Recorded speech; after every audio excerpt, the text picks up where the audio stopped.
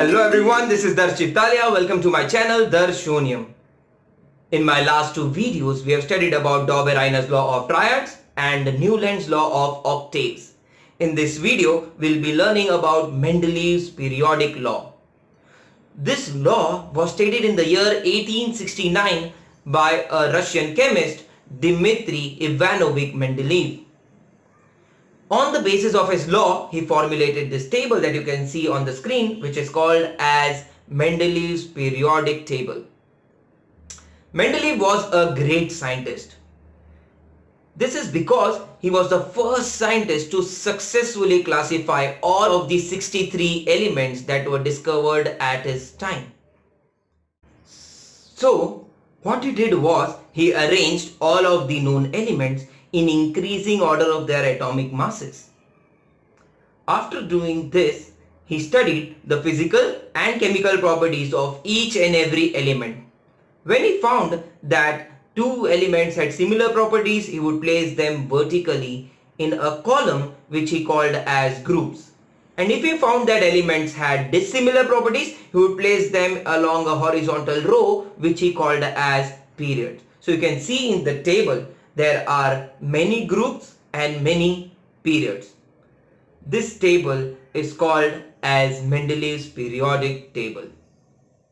Now, let us learn the statement of Mendeleev's periodic law. The statement is the properties of elements are periodic functions of their atomic masses. Now, let us understand the word periodic. It is the phenomenon that occurs at intervals.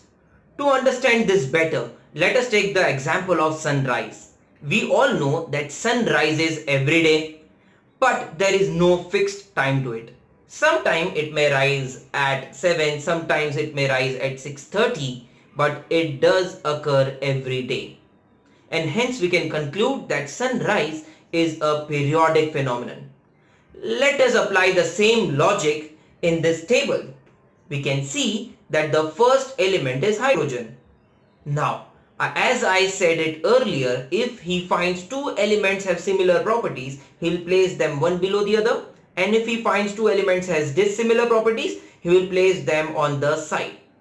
So now, next element after hydrogen is lithium. He found that lithium had similar properties to that of hydrogen and hence he placed it below hydrogen. After lithium, the next element is beryllium. He found that beryllium has dissimilar properties to that of lithium and hence he will place it on its side.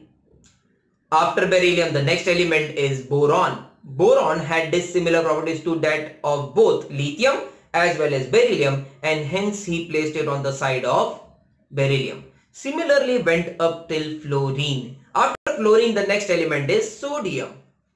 He found that sodium had similar properties to that of lithium and hence he would place it below lithium. And so on and so forth he went up till calcium. Now after calcium the next element which was present at that time is titanium.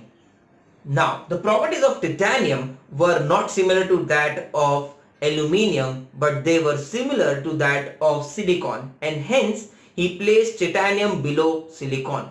Now as you can see in the table there is a vacant space between calcium and titanium. He left this vacant spaces because he said that these elements were yet to be discovered. Now let us see the pattern in which the properties are repeating. After hydrogen the next similar properties were found in lithium which is the very next element. Hence there are zero elements between hydrogen and lithium. After lithium, similar properties are found in sodium. In between lithium and sodium there are six elements. After sodium, next element which had similar properties is potassium. In between sodium and potassium there are six elements again. But after potassium, the next similar properties were found in copper.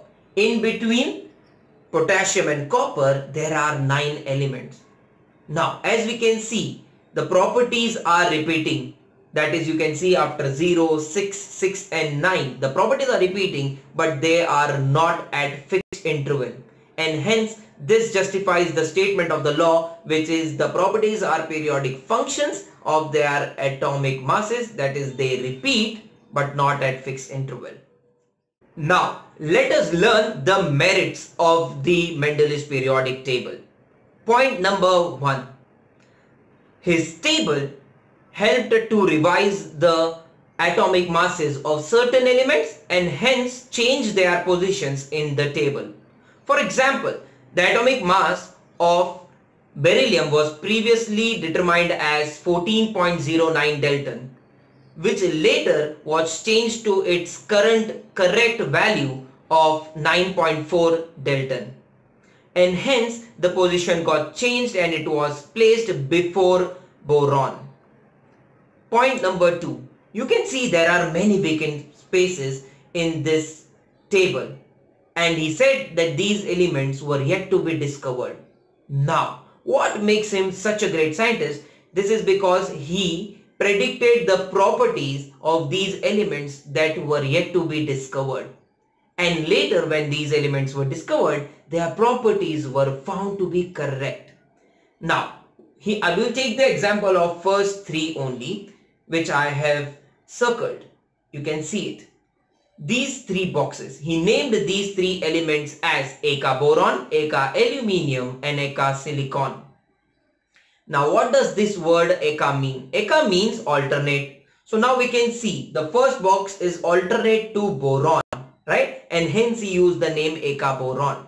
Similarly, the box below it which is vacant is alternate to aluminium and hence he called it as eka aluminium. And similarly we can see that eka silicon is alternate to silicon. Later when these elements were discovered, they were named as scandium, gallium and germanium respectively.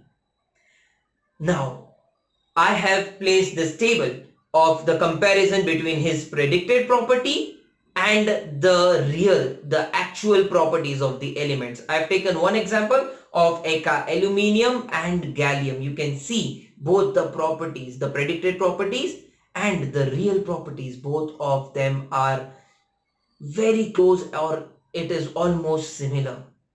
And hence this makes him the great scientist. Point number three of his merit is the noble gases were not discovered at his time, but later when they were discovered, he placed it in his table without disturbing the position of other elements as you can see. So these were the merits of his Mendel's periodic table. Now we all know that Mendel's periodic table is not used. This is because it has some problems. So let us learn the demerits of Mendel's periodic table. Point number one.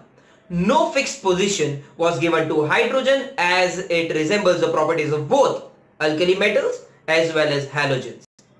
Point number two elements having dissimilar properties were placed in the same group. For example, you can see in the table manganese is placed with halogens. Point number three. We all know that elements were arranged in increasing order of their atomic masses. But in some places, elements having higher atomic masses were placed before elements having lower atomic masses. For example, in the table you can see the atomic mass of cobalt is 58.9 which is placed before nickel whose atomic mass is 58.7. Fourth point. Isotopes were discovered long after Mendel's periodic table. We all know isotopes are elements which have same atomic number but different atomic masses and hence these isotopes could not be given a proper place in the periodic table. Due to these four reasons, Mendeleev's periodic table was not accepted. So this was my video on Mendeleev's periodic table.